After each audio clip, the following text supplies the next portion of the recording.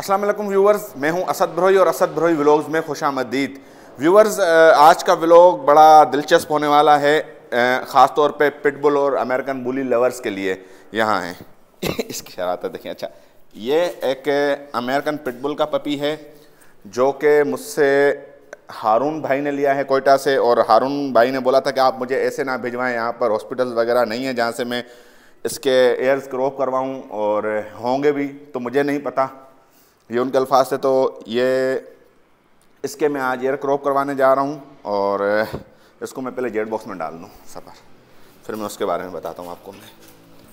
ये कोयटा जाएगा आज क्रॉपिंग के बाद क्रॉपिंग के बाद ये तकरीबन वन वीक तक मेरे पास रहेगा, उसके बाद कोयटा जाएगा। अच्छा अब यहाँ आए। ये, इसको तो आप जानते ही होंगे, ये है जम्बो, ठीक है? ये ए, मेरे पास ही है ये मैंने ही रखा हुआ है। शौक से अपने पास पॉकेट साइज़ का इस वक्त तकरीबन छः से सात महीने इसकी एज है लेकिन साइज़ आप इसका देख लें।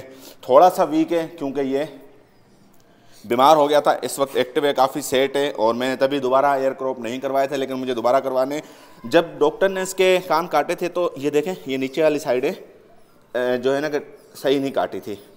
तो इसको दोबारा जाकर मैं इसकी क्रॉपिंग करवा रहा हूँ कि ये ठीक से इसका डिज़ाइन बने जिसमें लुक आए। असल में पिटबुल्स और अमेरिकन बुल्स में कान इस तरह के होते हैं कि वो लुक नहीं आता। उनमें कान इनके क्रॉप करके जो है स्टैंड किए जाते हैं। पिटबुल हो गया डोबरमैन हो गया बॉक्सर हो गया, ये तमाम ब्रीड्स हैं जिनका ख़ास तौर पे जिनके कान क्रॉप किए जाते हैं क्रॉप करके स्टैंड किए जाते हैं। तो चलें, इसको भी लेके चलते हैं और मज़ीद सफ़र को इन्जॉय करते हैं और हॉस्पिटल पहुँचते हैं।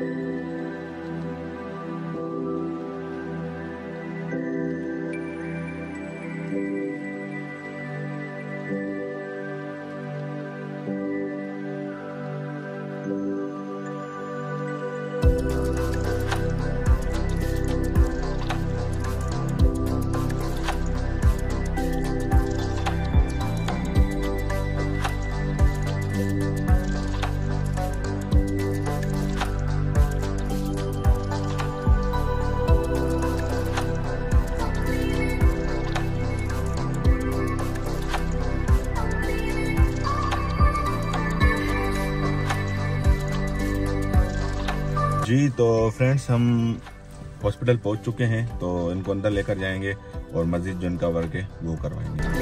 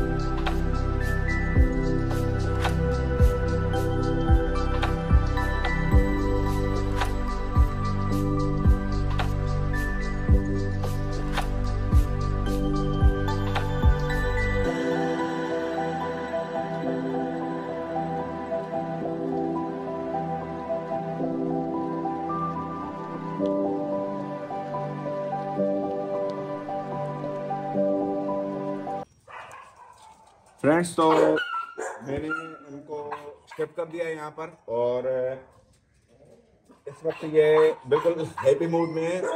मैं आप तमाम व्यूवर्स को एक चीज़ बताना चाहूँगा कि एयर क्रॉपिंग कभी भी घर में करने की कोशिश मत करिएगा। वजह यह है कि आपको बहुत से लोग राय देंगे घर में कर लें और कुछ नहीं होता। मैं आपको एक चीज़ बता दूँ कि ये एक सर्जरी होती है और ये प्रोफेशनल डॉक्टर्स की निगरानी में होती है। प्रोफेशनल डॉक्टर्स करते हैं। तो आप कभी भी घर में करने की कोशिश मत करिएगा, मैं आपको कभी भी ये राय नहीं दूँगा क्योंकि मैं भी नहीं करता। हालाँकि मेरे पास इतना सारा एक्सपीरियंस है, उसके बाद भी नहीं करता। तो आज मैं लूँगा आपसे ज़्यादा तो ये थी आज की वीडियो। उम्मीद करता हूँ आपको पसंद आई होगी। वीडियो को लाइक करें शेयर करें और चैनल को सब्सक्राइब करें।